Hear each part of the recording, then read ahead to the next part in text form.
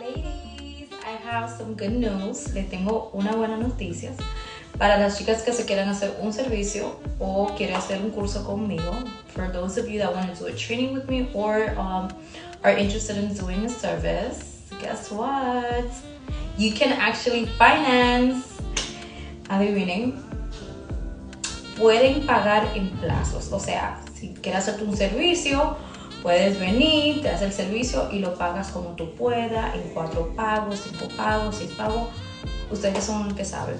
Ustedes son las que saben. You guys can pay um, after you guys do your training or your services.